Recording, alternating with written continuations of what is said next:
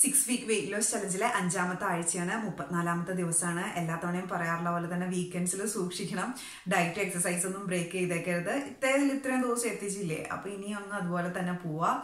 എന്തായാലും ബ്രേക്ക് ചെയ്തേക്കരുത് കേട്ടോ just one വീക്കും കൂടി ഉള്ളൂ. എക്സസൈസ് ഒന്നും ഇല്ല. ജസ്റ്റ് ബോഡി സ്ട്രെച്ച് ചെയ്യാന്ന് മാത്രമേ ഉള്ളൂ. അതൊക്കെ ചെയ്യുക പിന്നെ കഴിഞ്ഞ ദിവസങ്ങളിൽ ഏതെങ്കിലും ടാസ്ക് മിസ്സായിട്ടുണ്ടെങ്കിൽ അതൊന്ന് ഫിനിഷ് ചെയ്യുക ഇന്ന് ജോലിയൊന്നും ഇല്ല. ഇച്ചിരി ടൈം കൂടുതൽ കിട്ടുന്നുണ്ടെന്നുണ്ടെങ്കിൽ കുറച്ച് നേരം കൂടെ നടക്കാൻ പോവുക അങ്ങനെ ഫുൾ ഡേ ആക്റ്റീവ് ആയിട്ടിരിക്കുക. ഡയറ്റ് ഒന്നും ബ്രേക്ക് ചെയ്യാതിരിക്കുക. നാളെ ചീറ്റ് മീൽ ഇല്ല? പിന്നെ ഡയറ്റ് ഒന്നും ബ്രേക്ക് ചെയ്യേണ്ട ആവശ്യമില്ല. ഒരാഴ്ചയും കൂടി ഉള്ളൂ. നല്ല സ്ട്രോങ് ആയിട്ട് തന്നെ പോവാം. നമുക്ക് മാക്സിമം റിസൾട്ട് വേണ്ടേ? നമുക്ക് ഇന്നത്തെ ഡയറ്റ് പ്ലാനും സ്ട്രെച്ച് എക്സസൈസും ഏതൊക്കെയാണെന്ന് കണ്ടുനോക്കാം. ഡേ തേർട്ടി ഫോറിലെ കാലറി ബ്രേക്ക് ഡൗൺ ഡീറ്റെയിൽസ് ആണ് ഇവിടെ കൊടുത്തിരിക്കുന്നത്. ബ്രേക്ക്ഫാസ്റ്റിനും ലഞ്ചിനും ഡിന്നറിനും ഒക്കെ എത്ര എത്ര കാലറീസ് വരും എന്നുള്ളതാണ് ഇവിടെ കൊടുത്തേക്കുന്നത്. എല്ലാ ദിവസവും പറയുന്ന പോലെ തന്നെ രാവിലെ എണീക്കുമ്പോൾ തന്നെ രണ്ട് ഗ്ലാസ് വെള്ളം കുടിക്കുക. അതിനുശേഷം നമ്മൾ ബ്രേക്ക്ഫാസ്റ്റ് ആയിട്ട് എടുത്തിരിക്കുന്നത് ഓട്സ് പുട്ടും ഒരു ഹാഫ് പഴവും അതിന്റെ ഒപ്പം അഞ്ച് ആൽമണ്ട്സും ആണ്. അപ്പോൾ നിങ്ങൾക്ക് റോബസ്റ്റ പഴം പോലത്തേക്കോ പഴമാണെന്നുണ്ടെങ്കിൽ ഒരു മീഡിയം സൈസ് പഴം എടുത്തിട്ട് ജസ്റ്റ് ഹാഫ് പുട്ടിന്റെ റെസിപ്പി നമ്മളിവിടെ ഷെയർ ചെയ്യുന്നുണ്ട്. അതിന്റെ ഒപ്പം അഞ്ച് ആൽമണ്ട്സും ചെറുപഴമൊക്കെയാണ് എടുക്കുന്നതെന്നുണ്ടെങ്കിൽ ഒരു ഒരു പഴമോ അല്ലെങ്കിൽ ഒരു ഒന്നര പഴമൊക്കെ മതിയാകും കേട്ടോ ഈ ഒരു ബ്രേക്ക്ഫാസ്റ്റ് നിങ്ങൾ ഇന്റർമീഡിയറ്റ് ഫാസ്റ്റിംഗ് ആണ് ഫോളോ ചെയ്യുന്നതെന്നുണ്ടെങ്കിൽ രാവിലെ പത്ത് മണിയാകുമ്പോഴത്തേക്കും കഴിക്കാം അല്ല നിങ്ങൾ നോർമൽ ബ്രേക്ക്ഫാസ്റ്റ് കഴിക്കുന്ന ടൈമിലാണ് കഴിക്കുന്നതെന്നുണ്ടെങ്കിൽ ആ ഒരു ടൈമിൽ കഴിക്കാം ഇനി ബ്രേക്ക്ഫാസ്റ്റ് ഒക്കെ കഴിഞ്ഞ് നമ്മൾ മോർണിംഗ് സ്നാക്കായിട്ട് എടുത്തിരിക്കുന്നത് ഒരു ആപ്പിളാണ്.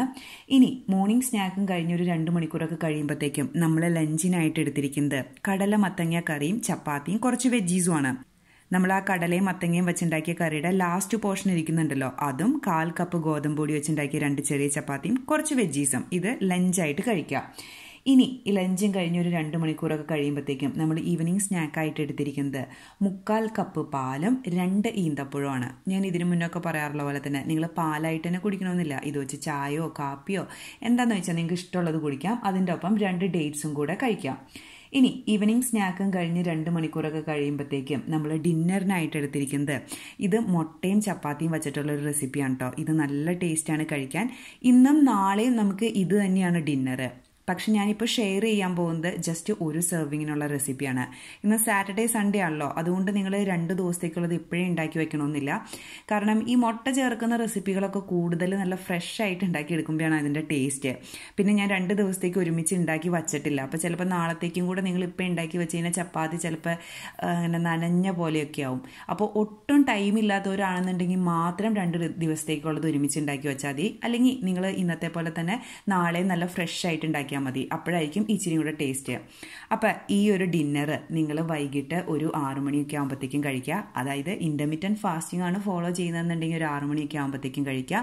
അല്ല നോർമൽ ഡയറ്റൊക്കെ ആണെന്നുണ്ടെങ്കിൽ ഒരു സെവൻ തേർട്ടി ഒക്കെ ആകുമ്പോഴത്തേക്കും കഴിക്കാം ഇനി നമ്മൾ ഷെയർ ചെയ്യാൻ പോകുന്നത് അടുത്ത മൂന്ന് ദിവസത്തേക്ക് വേണ്ട ഓട്സ് പുട്ടിന്റെ റെസിപ്പിയാണ് കേട്ടോ ഇത് ഉണ്ടാക്കുന്നതിന് വേണ്ടിയിട്ട് രണ്ട് കപ്പ് റോൾഡ് ഓട്സ് മിക്സിയുടെ ജാറിലോട്ടിടുക ഇനി വേണ്ടത് മുക്കാൽ കപ്പോളം ഗ്രേറ്റഡ് ക്യാരറ്റ് ആണ്. അപ്പോൾ ഈ മുക്കാൽ കപ്പ് ഗ്രേറ്റഡ് ക്യാരറ്റ് എന്ന് പറയുമ്പോൾ ആ കപ്പിൽ തിക്കി നിറച്ച് വയ്ക്കേണ്ട കേട്ടോ ജസ്റ്റ് ലൂസായിട്ട് വച്ചാൽ മതിയാകും.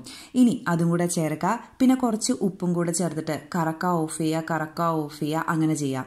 അപ്പോൾ നമുക്ക് പുട്ടിനുള്ള പാകത്തിന് കിട്ടും. ഇത് മൂന്ന് സെർവിങ്ങിനുള്ളതുണ്ട് അതുകൊണ്ട് തന്നെ ഇത് ഞാനിപ്പോൾ ഒരു ബോക്സിലോട്ട് മാറ്റി മാറ്റി ഈക്വലായിട്ട് ഡിവൈഡ് ചെയ്യാണ്. ഈക്വലായിട്ട് മൂന്ന് പോർഷനായിട്ട് ഡിവൈഡ് ചെയ്തിട്ട് അതിൽ നിന്ന് ഒരു പോർഷൻ എടുത്ത് ചിരട്ടപ്പുട്ടിന്റെ പാത്രത്തിലോട്ട് ചേർക്കുന്നു. കൂടെ രണ്ട് ടേബിൾ സ്പൂൺ തേങ്ങയും കൂടെ ചേർത്ത് നമ്മൾ സാധാരണ പുട്ടുണ്ടാക്കുന്ന പോലെ.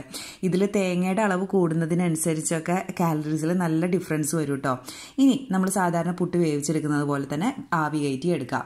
ഇനി നിങ്ങൾ ഈ വീഡിയോയിൽ കാണുന്ന പോലെ ഇത്രയും മെലിഞ്ഞ പുട്ടായിരിക്കില്ല കേട്ടോ ഇത് ഞാൻ എന്റെ വേറൊരു വീഡിയോ എടുത്തു എന്നേ ഉള്ളൂ. ഞാൻ പറയുന്ന രീതിയിൽ നിങ്ങൾ ഇൻഗ്രീഡിയൻസ് ഫോളോ ചെയ്യുമ്പോൾ ഇച്ചിരിയും കൂടെ വലിപ്പമൊക്കെ ഉള്ളൊരു പുട്ടായിരിക്കും. ആയിരിക്കും. അപ്പോൾ മൂന്ന് പോർഷൻ ഉള്ളതുണ്ട്. ഇനി നാളെ നാളത്തെ കഴിഞ്ഞൊക്കെ ഉണ്ടാക്കുമ്പോൾ ജസ്റ്റ് നിങ്ങൾ എടുക്കാൻ പുട്ടുണ്ടാക്കാൻ പോകുന്ന ആ ഒരു പോർഷൻ എടുത്ത് വെളിയിൽ ഒരു പതിനഞ്ച് മിനിറ്റ് വെക്കുക തണുപ്പ് മാറിക്കഴിയുമ്പോൾ ഇതേപോലെ തന്നെ രണ്ട് ടേബിൾ സ്പൂൺ തേങ്ങ ചേർത്ത് ഉണ്ടാക്കുക ഇത്രയേ ഉള്ളൂ ഇതിന് പരിപാടി. ഇനി വൈകുന്നേരത്തേക്കുള്ള എഗ് നൂഡിൽസിന്റെ റെസിപ്പി അത് നമ്മൾ ഈ ചാനലിൽ ഓൾറെഡി ഷെയർ ചെയ്തിട്ടുണ്ട്. അപ്പോൾ ഞാൻ അതിന്റെ ലിങ്ക് താഴെ ഡിസ്ക്രിപ്ഷൻ ബോക്സിൽ കൊടുക്കാം. അപ്പോൾ നമ്മൾ ഇതിന് മുന്നേ ഷെയർ ചെയ്തിരിക്കുന്നത് ജസ്റ്റ് ഒരു സെർവിങ്ങിനുള്ള റെസിപ്പിയാണ് ജസ്റ്റ് ഇന്നത്തേക്ക് മാത്രമായിട്ടുള്ളത്. അപ്പോൾ ഞാൻ ഇൻട്രോയിൽ പറഞ്ഞ പോലെ തന്നെ നിങ്ങൾ ഒട്ടും ടൈം ഇല്ലാത്തവരാണ്. നിങ്ങൾക്ക് നാളെ എന്തെങ്കിലും വർക്ക് ഉണ്ട് നിങ്ങൾ ബിസി ആണെന്നുണ്ട് നിങ്ങൾക്ക് രണ്ട് ദിവസത്തേക്ക് ഒരുമിച്ച് ഉണ്ടാക്കി വെക്കണമെന്നുണ്ടെങ്കിൽ മാത്രം ഇപ്പോൾ ഈ താഴെ കൊടുത്തിരിക്കുന്ന ആ ലിങ്ക് റെഫർ ചെയ്തിട്ട് ആ റെസിപ്പി നേരെ ഡബിൾ ചെയ്ത് ഇന്നത്തേക്കും നാളത്തേക്കും ആകുമ്പോഴേക്കും ഉണ്ടാക്കി വയ്ക്കാം അല്ല ടൈം ഉള്ളവരാണെന്നുണ്ടെങ്കിൽ ഇത് ഫ്രഷ് ആയിട്ട് തന്നെ ഇന്നും നാളെ ഉണ്ടാക്കുന്നതായിരിക്കും ഏറ്റവും നല്ലത്. കാരണം മുട്ട ചേർക്കുന്ന റെസിപ്പീസൊക്കെ ഇച്ചിരിയുടെ ഫ്രഷ് ആയിട്ട് ഉണ്ടാക്കുമ്പോഴാണ് അതിന്റെ ആ ഒരു ഫുൾ ടേസ്റ്റ് കിട്ടുക. ഒന്നുകൂടെ പറയാണ് താഴെ കൊടുത്തിരിക്കുന്ന ലിങ്ക് ജസ്റ്റ് ഒരു സെർവിങ്ങിനുള്ളതാണ് ഇനി ഡേ തേർട്ടി ഫോർ ഇന്ന് നമ്മൾ ജസ്റ്റ് സ്ട്രെച്ച് എക്സസൈസ് മാത്രമേ ചെയ്യുന്നുള്ളൂ. അതിന്റെ ലിങ്ക് താഴെ ഡിസ്ക്രിപ്ഷൻ ബോക്സിൽ കൊടുത്തിട്ടുണ്ട്. നിങ്ങൾ ടൈം കിട്ടുമ്പോൾ ഫൈവ് തൗസൻഡ് സ്റ്റെപ്സിന്റെ കാര്യം മറക്കണ്ട. ഇന്ന് സാറ്റർഡേ ഒക്കെ അല്ലേ? അപ്പോൾ നിങ്ങൾക്ക് എന്തായാലും പുറത്ത് പോയി നടക്കാനൊക്കെ സമയം ഉണ്ടാവണം. കഴിഞ്ഞ ദിവസങ്ങളിൽ ഏതെങ്കിലും ടാസ്കൊക്കെ പെൻഡിങ് കിടക്കുന്നുണ്ടെങ്കിൽ അതൊക്കെ ഫിനിഷ് ചെയ്യുക നമുക്ക് നാളെ ചീറ്റ് മീൽ ഉണ്ട്. ഇന്ന് കയറി ചീറ്റ് മീൽ എടുത്തേക്കരുത്. ത്രൂ ഔട്ട് ദ ഡേ നന്നായിട്ട് വെള്ളം കുടിക്കുക ഹാപ്പി ആയിട്ടിരിക്കുക. Thank you for watching me bye